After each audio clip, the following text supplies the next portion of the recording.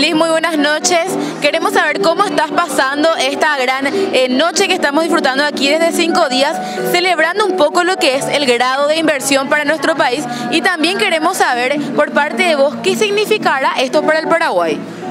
Bueno, a ver, quiero tomar una palabra que dijiste que es celebración. Realmente eh, tenemos que los paraguayos reconocer que esto nos merecemos, que el grado de inversión es algo añorado hace mucho tiempo.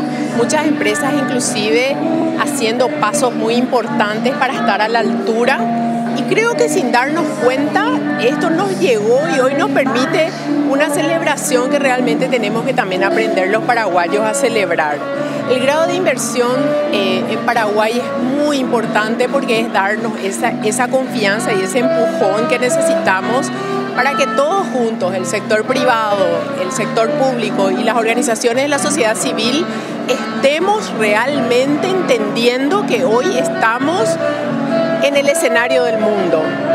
Eh, en un escenario que es realmente fantástico porque nos abre puertas, porque nos da oportunidades, porque nos da esa, ese, ese input para el desarrollo que es muy importante para nuestro país y un país que tiene todo. Entonces, lo que hoy nos toca a nosotros es celebrar, entender el, el grado de responsabilidad de tener el grado de inversión y bueno, ponernos a la altura de los países que tienen el grado de inversión, hacer bien los deberes, hay mucho, hay mucho por hacer. Justamente en ese contexto sabemos que hoy estamos en el ojo del mundo, por decirlo de alguna forma, y como bien lo decías vos también, pero de repente, ¿cómo debemos de prepararnos justamente para eso? ¿Qué debemos comenzar a hacer para estar a la altura?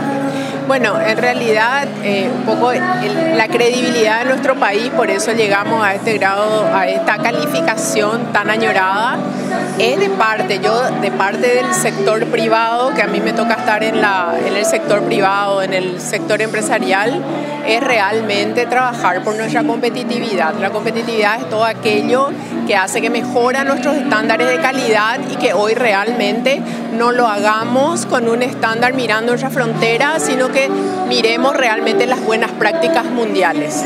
Genial. A celebrar entonces el día de hoy. Así mismo, a celebrar. Muchas gracias por la invitación y felicidades por esta iniciativa. Muchas gracias a vos.